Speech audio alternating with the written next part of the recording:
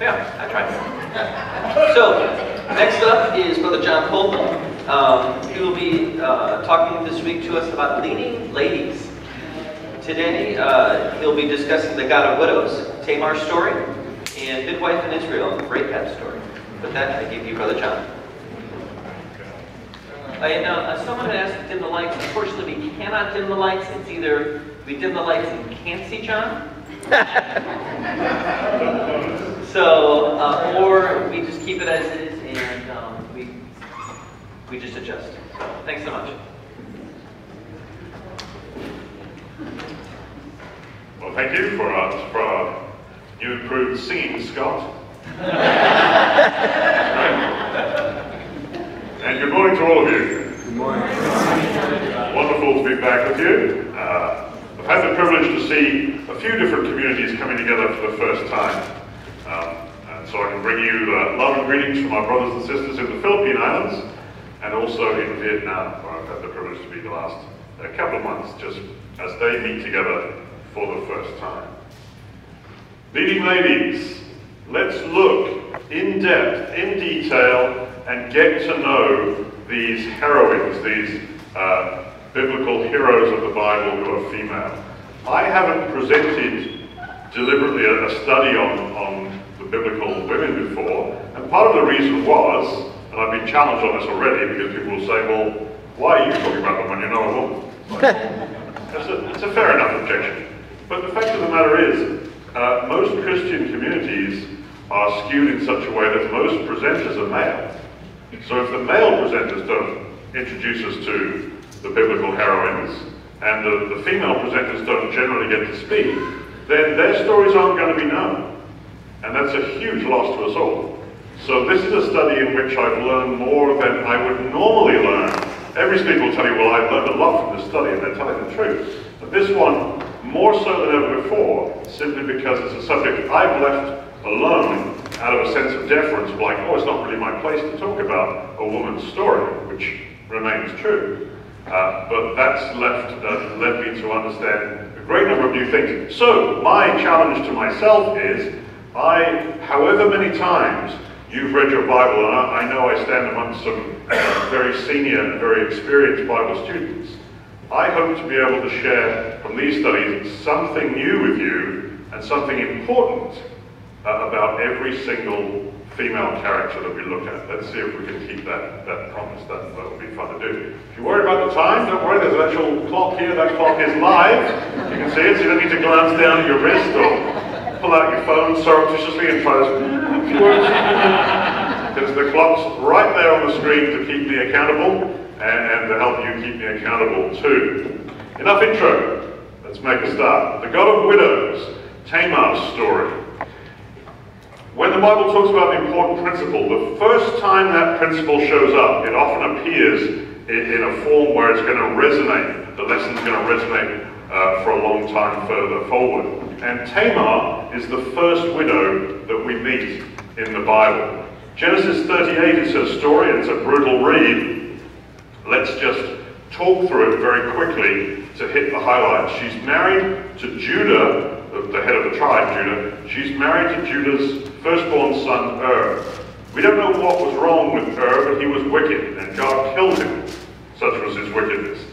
Uh, and so, then, as a widow, she has no income, she would starve to death, there's no social security system. So God's law provides for that by, by the, the law of what's known as levirate marriage.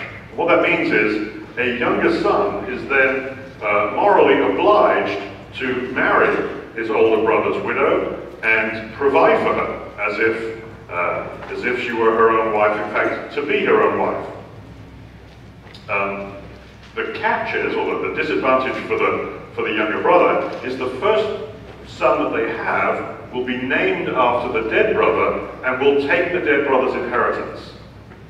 So it's a wonderful opportunity for that younger brother. He has the power to bring his older brother back to life through the son that they have.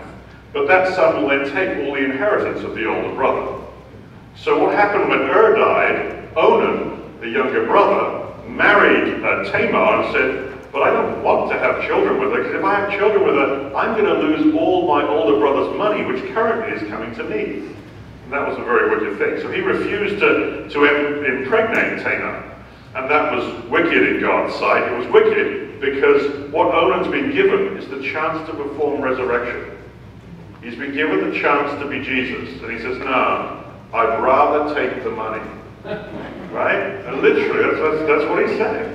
And God says, okay, you serve me or you serve Mammon. You chose Mammon. Okay, well, that's, that's the road to death. So you died too. So now Ur is dead, and Onan is dead, and Tamar is a widow for the second time. And there's one more son, Shelah. And Judas, Judah says, oh, well, Shelah's too young to marry at the moment. You have to wait a bit. Now he's lying. He has no intention of letting Tamar marry Shelah at any time. I don't know why. I suspect he's afraid that Tamar is somehow causing the death of his son, so he's only got one left. And so he actually sends Tamar home. He says, you go back and live with your family. You go back and live with your own father. You don't even live in my house anymore. So he won't take care of her. He doesn't provide for her, and he won't allow his last son to marry her. So she is stuck. She is going to outlive her father, logically, at which point she will starve to death. And she is living in her father's house uh, for many years. Er's wickedness prevents Tamar from having a son. Onan, the, the second brother, refuses to raise a son for the widow. Judah refuses to give his last third son to Tamar. She has nothing, and she is sent home, and she is at home with her father for years and years and years. Time passes. She realizes she's just staring at a death sentence. She's got nothing. What we're going to see in this, this little talk on Tamar is how clever she is, that from this desperate situation, she gets her way out of it. Man doesn't care for widows, is what we learn. The widow is a crisis situation. Onan could have taken care of her, refused to. Shelah could have taken care of her, refused to. Judah could have provided, Shelah, refused to. And so she's in trouble. And here's then what she plans to do. She has to somehow get a hold over Judah so that she can uh, manipulate him or have power over him uh, to get the husband she needs to stay alive. So she poses as a prostitute by the roadside. She took off her widow's garments, covered herself with a veil, wrapping herself up, and sat at the entrance to Enaim, which is on the road to Timnah. Now she's planned this for years. Let's have a look at those little details. Enaim is the place she was. Well, what's, what's that about? It's a word that means twin wells. Now there's only one well in this photograph, so what I've done for you very cleverly is I've got another one right over here. uh, so you don't think I don't, I don't, think what you need. And so now we have twin wells, which is marvelous. So here she is at Enaim. Why there? I wonder why she chose that spot. She could have gone directly to Timnah, which is where Judah was headed. It means twin wells. What do you know about marriage and wells? Real question. Come on. What's, what's the precedent we understand? What happened at a well to do with marriage? Excellent, Suzanne. The patriarchs, this is their history, right? Isaac and Jacob both met their wives at a well. Uh, Isaac's story is here in Genesis 24, Jacob's story is here in Genesis 29. We won't go and dive into them, but nor will we dive into the well. But they, that's where they met their wives, at a well. How many, how many husbands does Tamar had? Two. Two wells, two husbands, twin wells, and then she sat there at two wells saying, But I don't have a husband. Maybe it's a pointed little remark to Judah saying, You've given me two husbands, and they were both terrible in God's eyes. God killed them. And here I am without a husband. I'm at the well again.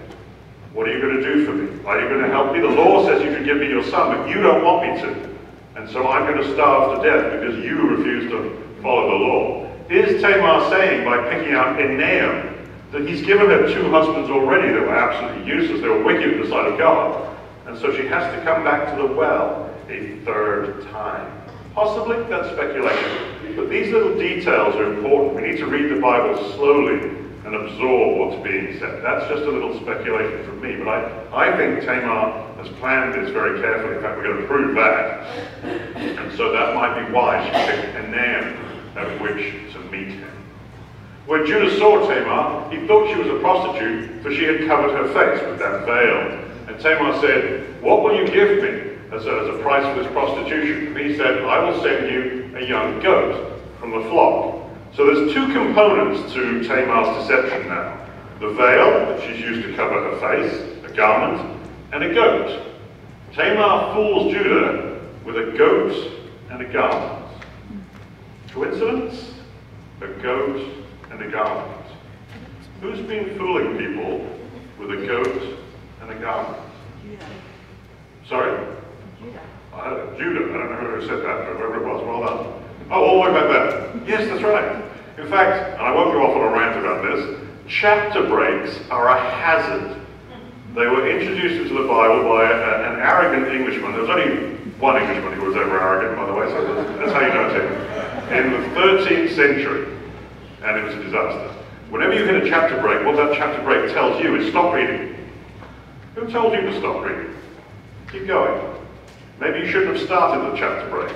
Chapter breaks will destroy your understanding of the Bible. And what we know as Genesis 38 is preceded by Genesis 37. And in Genesis 37, right at the bottom there, which would have stuck onto Tamar's story if that silly Englishman hadn't put a break in there, is Judah deceiving his father with a goat and a garment. What's the detail? What's, what's he doing? It's not the birthright one, but, but we're actually going to come to that. You're ahead, you're ahead again. You're five minutes ahead. Judah is trying to convince Jacob that Joseph is dead. Remember, so he takes Joseph's coat of many colors, the garment, and he dips it in blood, the blood of a kid goat, and says, look, look, Dad, oops, I think, I think your son's dead. Right? Fools him with a goat and a garment. Judah deceived his father Jacob with a goat and a garment. Who else performed deception with a goat used as a garment? Jacob, well, he, Jacob, not Esau, Esau was the innocent one in this case. Yeah, Jacob dressed up pretending to be Esau, because Esau was Herod. So Jacob takes a kid goat and he puts the skin on his arms, on his neck, remember, to fool his own father. His own father who's blind by this point. Nice work, Jacob. Good man. Jacob deceives his father Isaac with a goat and a garment. You see? The father is a deceiver with a goat and a garment, who gives birth to a son who is a deceiver with a goat and a garment. This is all family history Tamar knows. She's a clever, thoughtful woman. She says, I'm going to fool you, Judah, and I know exactly how I'm going to do it. I'm going to use your family tradition of deception. Deception begets deception begets deception. Tamar deceives Judah the deceiver, son of Jacob the deceiver, and with the same tools. That's not a coincidence. That's beautiful. That's powerful. That's the kind of thing I would want to learn in Sunday school. Right? The Sunday school teachers in the room, tell this to the children. This is the true depth of Tamar's understanding of what's been going on and how to apply it how to convince a man who's behaving an ungodly man to become godly. She's a powerful, clever woman. She's a leading lady. What pledge shall I give you, therefore? What's my down payment, if you like, says Judah. And Tamar says, Well, give me your signet and your cord and the staff that is in your hand. The signet is a ring, and it's literally his signature. So when he signs parchments, he dips it in uh, not ink, dips it in uh, wax, and, and stamps his name. So she's taken away his signature and his staff. That's his legal identity, his signature, and also his staff. What does the staff mean? The staff is a sign of authority. You look at verses like this. The scepter won't depart from Judah, nor the ruler's staff from between his feet. All I'm showing you that verse for is to, is to show you that staff is a symbol of a ruler, of a leader. It's not just a stick that you lean on to walk, okay? So Judah, Tamar has taken away his legal identity and his authority. Judah has refused to let Tamar become a wife for the third time. He's deprived her of any social authority, and he's deprived her of any legal identity within Israel. So what has Tamar taken away? Tamar takes from Judah what Judah had taken from her. She knows what she's doing. She's thought this through.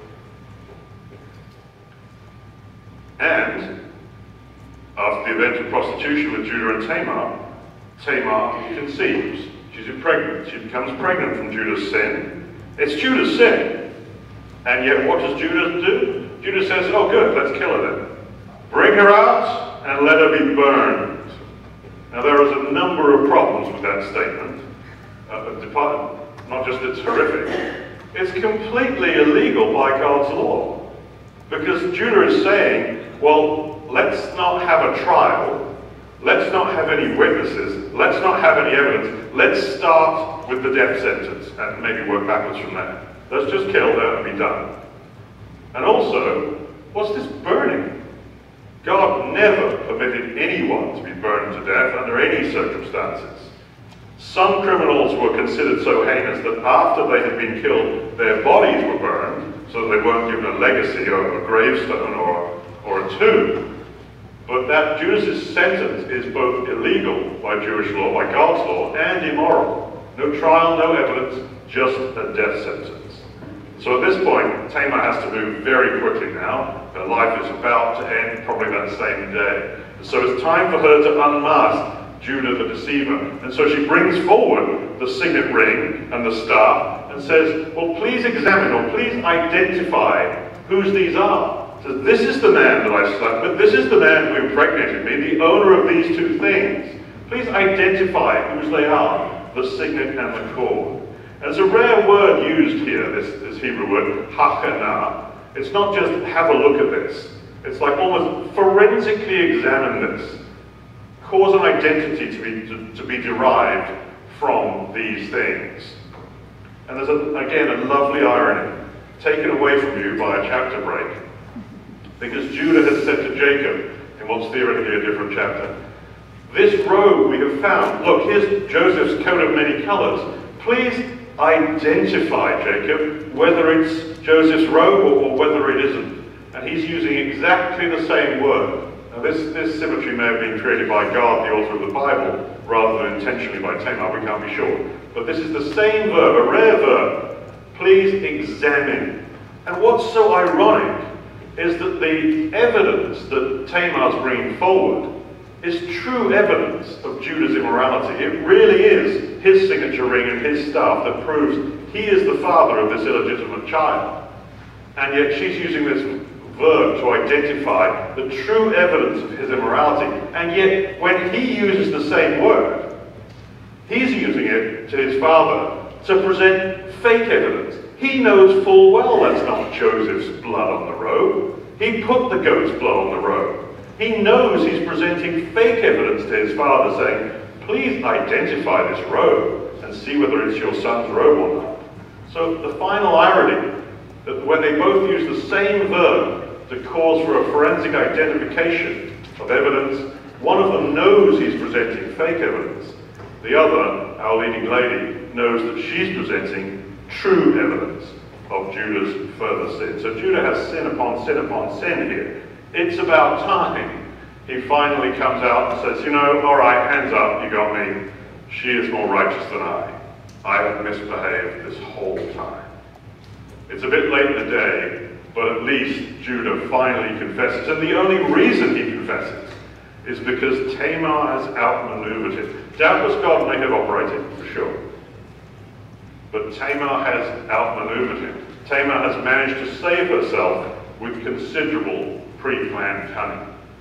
But to some extent the damage is done because she's now and her family banned from the, from the Lord's assembly for 10 generations because of uh, the uh, illegitimate child. God, however, is never far from her. God is the God of widows. David writes, Father of the fatherless is God, and protector of widows is God in his holy habitation. And let's look how that was actually true in a very practical sense.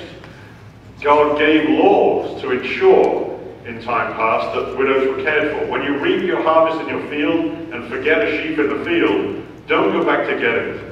Leave it for the immigrant, leave it for the orphan, leave it for the widow. Now that's the law from many, many years ago. But let me show you a verse from Jeremiah which also Jeremiah might be thought to be a long time ago, 700 BC or whatever, this verse still applies today. You can see that it does if you read it. What Jeremiah says, God is speaking, if you do not oppress the immigrant, the orphan, or the widow, then I will let you dwell in this place, Israel, in the land that I gave of old to your fathers forever. Now, who in this room would like to dwell in Israel, spiritually speaking, forever? That's what the kingdom is, right? Dwelling in Israel forever. So this is actually a condition of the kingdom of God. Let's read this verse one more time, the other way round. If you do oppress the immigrant, if you do oppress the orphan or the widow, then I will not let you dwell in Israel forever. What a lesson for the modern Christian. You want to dwell in Israel forever? Do not oppress the immigrant. Do not oppress the orphan. Do not oppress the widow. That's a condition that we have, albeit said many years ago, as relevant now as it ever was then. That would seem to be the end of Tamar's story, but for one remarkable detail, a very strange story. We've just said she was impregnated by Judah, so that in fact has twins. And the birth of the twins is told to us because of very weird things happen during the birth. Let's just read it. When Tamar was in labor with the twins, one of them put out a hand, and the midwife took and tied a scarlet cord on his hand, saying, This one came out first. But then he drew back his hand, and his brother fully came out and was born. And she said, What a breakout you have made for yourself. Therefore his name was called Breakout, which in Hebrew is Perez. And afterwards his brother came out with the scarlet cord on his hand, and his name was called Scarlet, Zerah. Okay? So Scarlet is the rightful firstborn in human terms. But God allows the child called Breakout, the second one, to displace Scarlet. And in fact, God chooses Perez, the second son, to host the line of Messiah, not Scarlet, the first son. And you might think, goodness me, why are we told all these weird and wonderful details? And see, this is where I start with Bible study. Where are the details that I didn't need to know? I don't need to know this. I mean, sure, if that happened in my family history, it would be a nice piece of family lore. But there's no spiritual value obviously lying in those verses. It's a detail after detail after detail. It's like, well, this sounds very painful for Tamar is what I'm getting out of this. This sounds like chaos. Right? His kids are up to goodness knows what. That's all I get from it. Now there's got to be more in it than that. And that's where I say, okay, here's where we need to start Bible study. There's a whole bunch of details that seem to have no spiritual value, but God insists that I know about them. And that's where I would recommend to you, if you want to know where to start Bible study, take verses like these and I think, wait a minute, because I ask myself, why do I need to know any of this? Wait, there's a scarlet cord. Where do I know about a scarlet cord? You see, what is the answer? What is this trying to teach us? Here's the most bizarre answer you've seen today. It tells us who Rahab is. It's a very weird answer and requires much explanation, which we'll get hopefully. It also tells us about how God sees his people Israel being born, which is an even weirder answer. So I understand it, it all sounds very confusing. That's what these verses are for. I haven't shown you how, so we need to know for that we would need to explore Rahab's story, in which case, let's do it right now.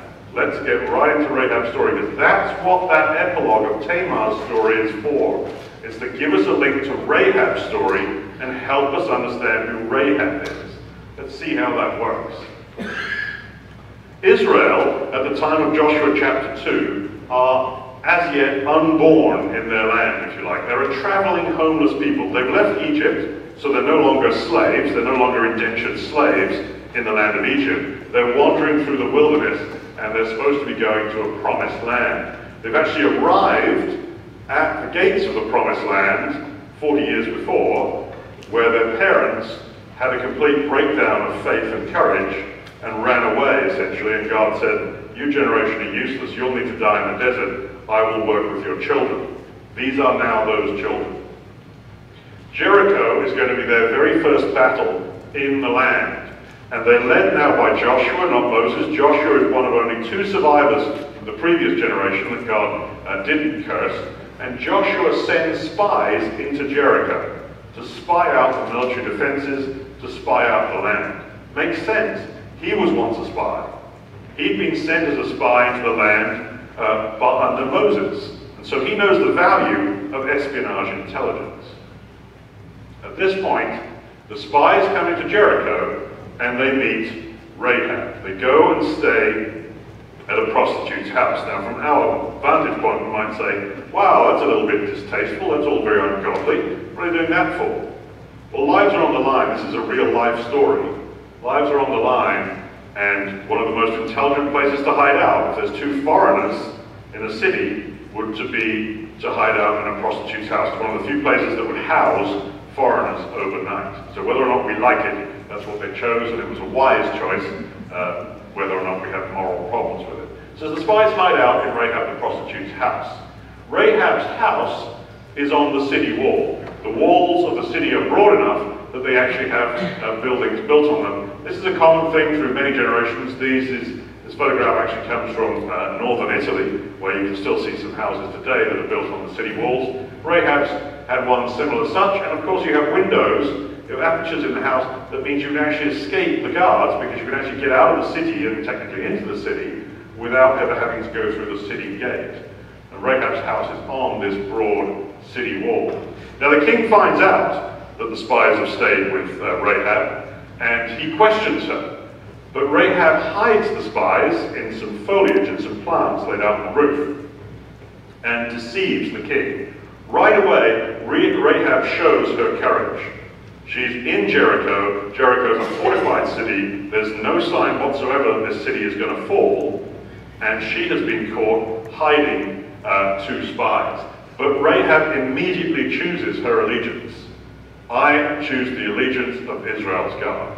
I will defend these two defenseless little spies and keep them from being tortured and killed from the king of Jericho. I choose my allegiance right away. Then the king of Jericho sent to Rahab, saying, Bring forth the men that have come to you.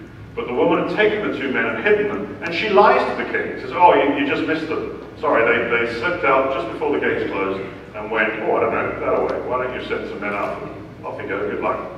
So she has no problem at all in having the courage to look the king of Jericho in the face and tell him a big flat lie. Where have we heard that story before? Where's that echoing?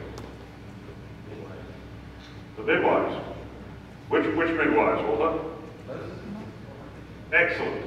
Rahab hides the spies, resists the king, deceives the king. We've seen that before. Remember? Uh, Walter remembers. The midwives were told by Pharaoh, the Hebrew midwives were told, kill the babies, kill the male babies of Israel. When you arrive and attend the birth, you can let the girls live, but the men, the male babies, you should kill them. When you serve as a midwife for the Hebrew woman, see them on the birth stool. If it's a son, kill him. But if it's a daughter, let her live. But the midwives chose allegiance with Israel's God. And they feared God, and they did not fear the king of Egypt.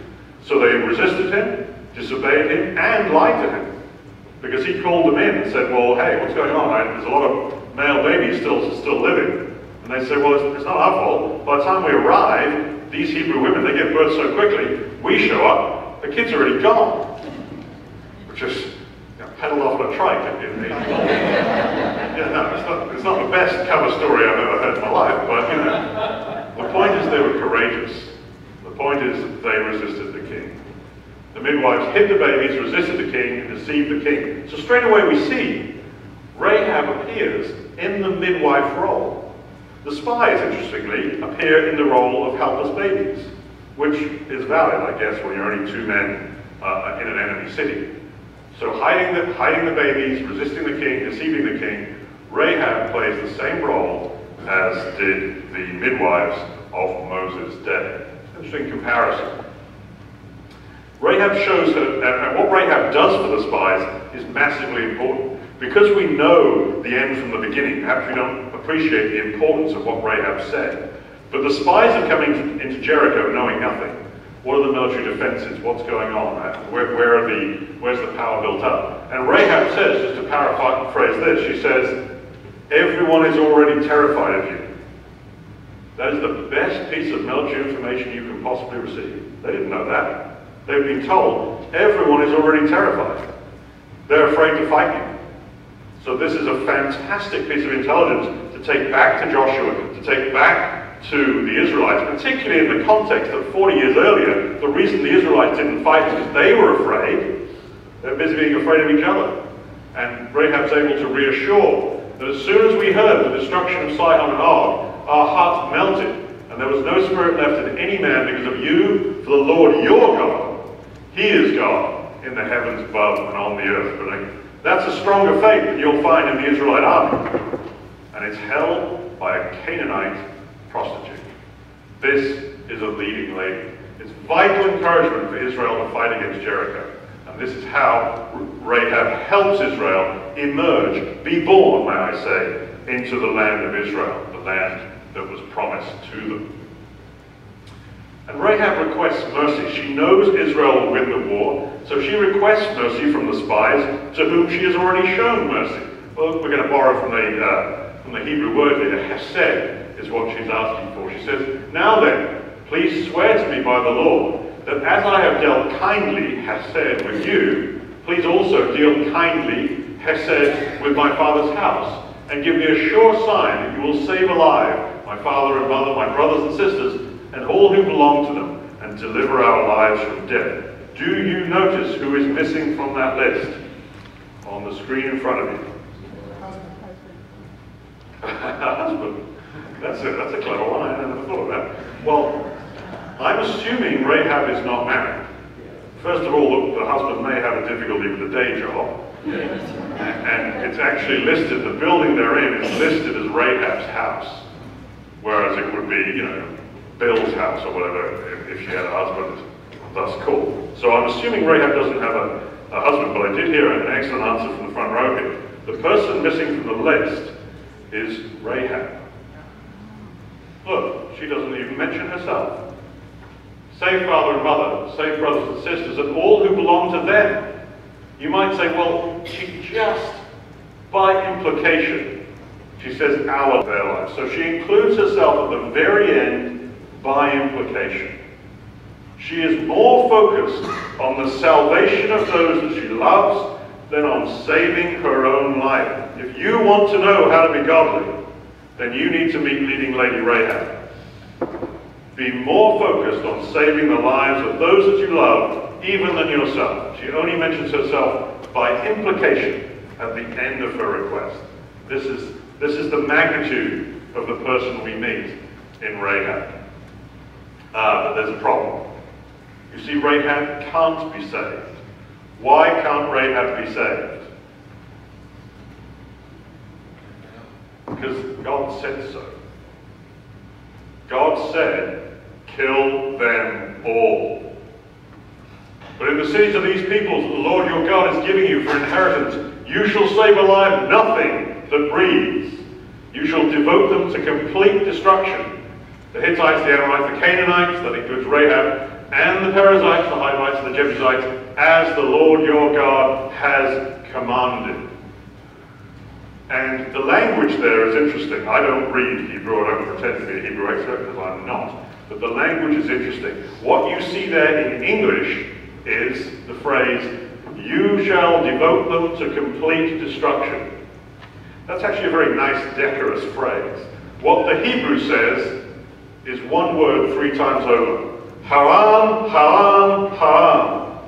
So what reads as a nice sentence in English is actually God in a rare moment really, banging on the podium saying, destroy, destroy, destroy. That's all it says.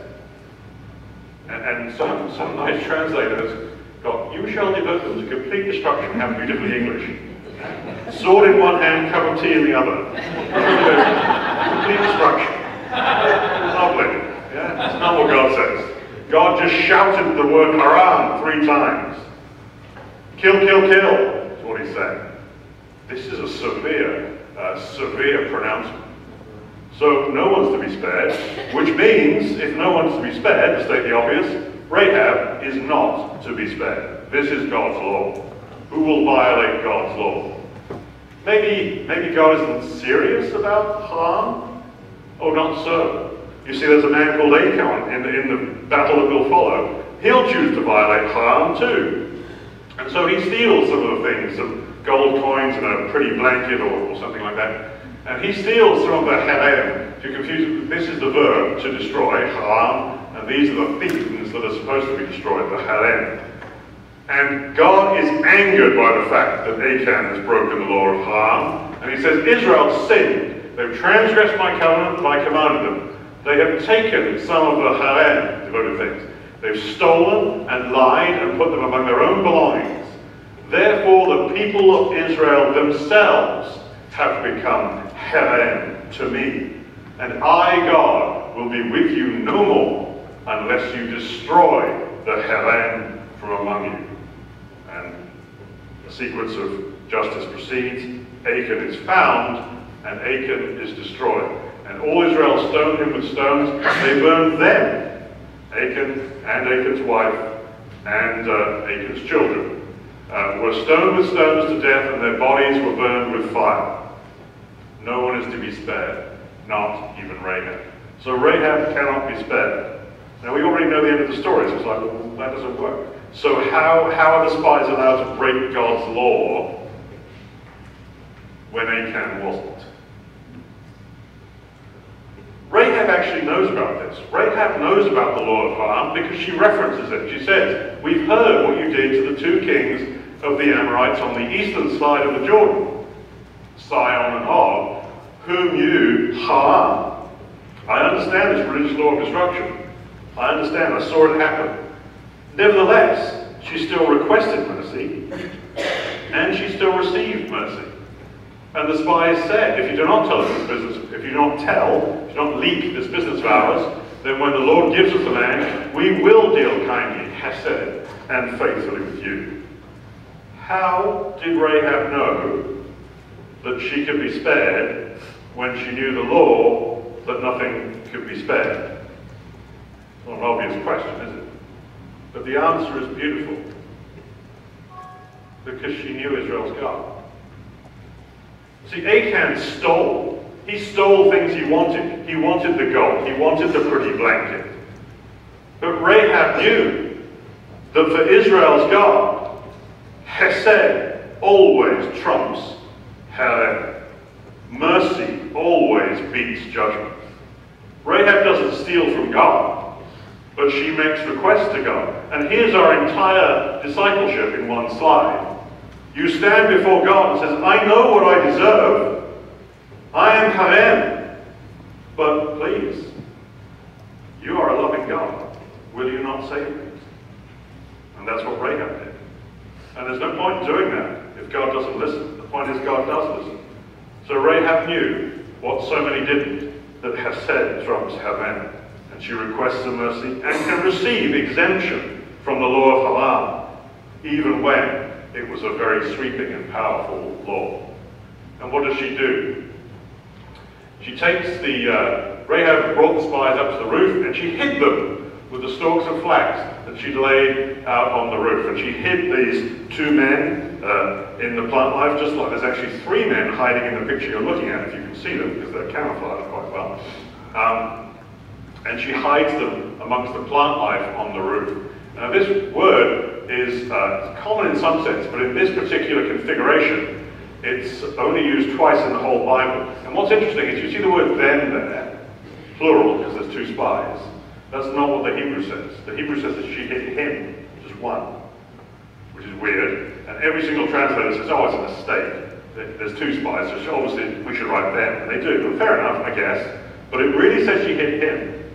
And only by saying hit him does it perfectly match the only other time that it's used in the whole Bible. When Jochebed could hide, Moses no longer, she got a papyrus basket for him and put it among the reeds on the banks of the river, hidden among the plants, hidden among the plants. And who is Jochebed to Moses? Mother. Wrong answer. Well, I may mean. Okay, it was the mother, but what, what was she hired as? Nurse. Try a different word for nurse. I like it though. Midwife. Yes, she was his mother, but because Miriam was hiding by the riverbank watching what was going on, and Pharaoh's daughter said, I need a midwife for this baby, and, and Miriam says, I know, we're the Jewish people, we're smart enough, I'll, I'll get my mother, I'll get my mother to be actually paid to be a mother to this, uh, this baby. So Jochebed is actually hired as the midwife. So Jochebed, yes it is the mother, you're absolutely right. The mother and the midwife, when the midwife, the midwife hid the baby among the plants. Rahab hid the spies or hidden among the plants. So again, it's a nice little match, isn't it? Jochebed became Moses' midwife, therefore the implication is, it's a second implication, an independent one, that Rahab was Israel's midwife. That's a very tenuous one, based on one word for goodness sake, let's not go crazy. But it's a nice little match, it's a nice little pattern nonetheless. Now let's look at some real powerful evidence. This is fun. This is, this is a fun discovery. I, I hope you'll enjoy it. It's not been presented anywhere before, so uh, you'll see this. At that time, the Lord said to Joshua, Make flint knives and circumcise the people the second time. The whole generation were not circumcised because their parents had given up on God, given up on the law. They didn't even circumcise the kids. Right? So this whole fighting generation, uh, is, and God says, this is the time, circumcise them now. Now, speaking as a human, not necessarily someone following God, this is the worst possible time. They haven't fought the Battle of Jericho yet. Let's imagine I'm the commander of the armed forces. Here are my armed forces. We're going to go into battle. Oh, I know. Why don't I perform a surgical operation on all of you that will cripple you for days at a time and keep you weak forever? That's a good time. This is the worst possible time to circumcise them. It's almost like God knows better than man. Because he says, no, no, no. This is the right time. When is it? We're told the exact date. Did you know that? How weird. It's the 10th of Abib, we're told. They crossed the Jordan, and they were circumcised right on that, on that time. Now, another Bible test. Israeli male baby should be circumcised. When? Eighth day. Leviticus 12, verse 3. Good job. God will command circumcision on the eighth day. So that's the eighth day. The eighth day since what? The eighth day since God sees his nation of Israel as being born. Now, these are all grown men of all sorts of different ages, right? A whole army. He says, You were all born on one day, but today's the eighth day, so now today you must all be circumcised. So, here's the fun trick, or the exercise, not trick. If we go back seven days, we get to see the day that God considers his nation was born. If God keeps his own law, and I assume he's consistent with his own law, and if so, that's the eighth day, right? That, that must be day number eight when they're circumcised. And, and I was speaking with, with Wilson, and he was saying, you know, the bad news of trying to find a timeline in Scripture is you usually never can. It's always like, oh, well, sometime later this happens, and a while after, it's like, ah, oh, you know, you lose the exactitude. How brilliant is this particular part of the Bible? Every day is spelled out. Almost as if it left it open for you to be able to do this. We can do this. Look. Count back seven days, we find the day that God considers when Israel was born. They crossed the Jordan, yes, but before they crossed the Jordan, it tells us explicitly they camped three days at the Jordan on the other bank, the eastern bank, before they crossed over. So those were days seven, six, and five. Okay. What happened before that? It tells us exactly. They went to camp at the Jordan immediately after they heard from the spies. But the spies had been, those two spies, they had been hiding for three days in the hills after they left Rahab.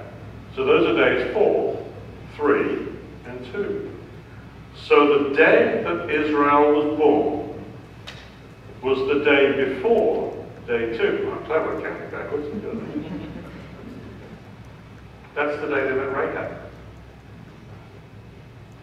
They met Rahab, the spies met Rahab, they left her, they camped three days, one, two, three, in the hills, came down, spoke to Joshua. Joshua said, okay, here we go. We're going to now camp at the Jordan, days five, six, seven. Then they crossed the uh, Jordan, and God said, now be circumcised. This is day 8. So God sees the birth of his nation not as the day they crossed the Jordan. That's clearly a baptismal scene. And we often take baptism, or we take the crossing of the Jordan to be a synonym with baptism, that's fair. And we often say that baptism is the day that you're born. Well, that's wrong, right? If the baptism is the day you're born, then we would baptize infants. Why wouldn't we? The whole reason we don't baptize infants is like, no, there are lots of things have to happen before you get baptized. Right? Baptism is like the wedding day. That's the day you enter covenant. Right? The day that you got married, for those of you who are married, the day you got married was not the first day of that relationship. I hope it wasn't. It's uh, quite a gamble if it was. I mean, good luck to you and everything, but you know, that's not the first day of the relationship, I assume. This is the birthday. So if God sees Israel's birth as the day that Rahab ministered to them, how much more strongly is the point made that Rahab was the midwife to their birth? The midwife chosen by God. The eight days are even plotted out for you in all the Bible references. You can go and look at them for yourself at your leisure. And you'll find that holds up. And there's one more thing. Well, how much time have we got? See, oh, I've got three minutes. That's all I need. There's one more thing. Memory. What is it we were supposed to remember that was going to help us understand Rahab? Cord. Scarlet cord. Tamar's midwife. Tamar's midwife, not Tamar. Tamar's midwife tied the scarlet cord around the human firstborn, but God chose the second son for Messiah's line. Okay, how's that going to help us? Because Rahab tied the scarlet cord on Canaanite Jericho. And now we know why. She did it because she was told to, I realize that. The scarlet cord is tied on the firstborn, tied by the midwife. So in Tamar's case, it was tied on Zerah, the kid they called Scarlet, tied by Tamar's midwife. And in Rahab's case, it was tied on Canaanite Jericho, and it was tied there by Rahab. Once again, Rahab is in the midwife role. The second son broke out, got out first, ahead of the firstborn. In Tamar's case, that was the one they called breakout, Peretz in Hebrew. And in Rahab's case, who broke into Jericho and took it over? God's people Israel. And God chose the breakout son to host the line of his Messiah. It wasn't Zerah, it was Perez who hosted the line of Christ, and it wasn't Canaan, it was Israel who hosted the line of Christ. And Tamar's birth example, which was that very weird set of verses, actually teaches us God says, I'm going to do that with my people. This isn't just chaos going on in the promised land.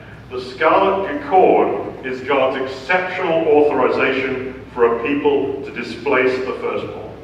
Just as Perez displaced Zerah, so Israel is authorized to take the promised land and to displace the people who came before them. And the scarlet cord is the symbol of that. And if we'd been paying close attention to what had happened in the life of Tamar, we'd have known that immediately when we saw Rahab tie that cord on. These are the things I wish I had learned in Sunday school. So let's just summarize what we have. The Hebrew midwives resisted and deceived the king of Egypt. Rahab resisted and deceived the king of Jericho.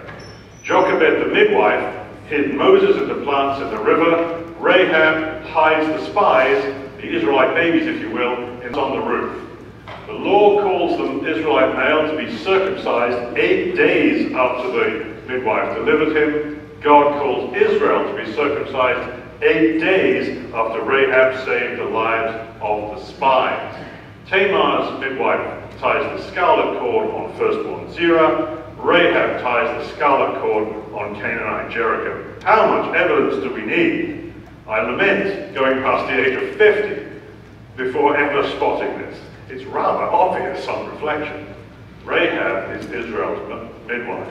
The four things that she does in her story are all mirrors of what a midwife has done before. In fact, I don't think there are any other midwives in the Bible prior to, to Joshua chapter 2. And Rahab has essentially recapitulated the lives of all of them. So God is speaking as loudly as he can for those who are prepared to, to dig into the details and, and see. Rahab is Israel's midwife. Who is Rahab? And I can ask that question. Who is Rahab? And I always get the same answer. She's a prostitute. Well, okay, true. She is a Canaanite prostitute. If we use earthly eyes, we will only ever see earthly things. And in earthly terms, Rahab was a prostitute. But if we use heavenly eyes and look at the Bible the way that we're supposed to, and look at the Bible the way that we're provoked to, as it is written, surely then we will see heavenly things. Rahab is a leading lady. She is God's chosen midwife to birth his people Israel. So here's the final lesson. When someone asks you, who is Rahab?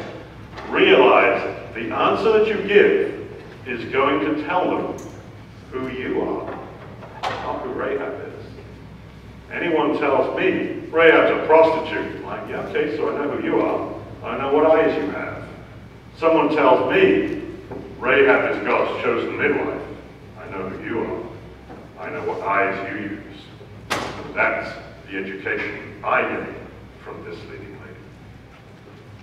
lady.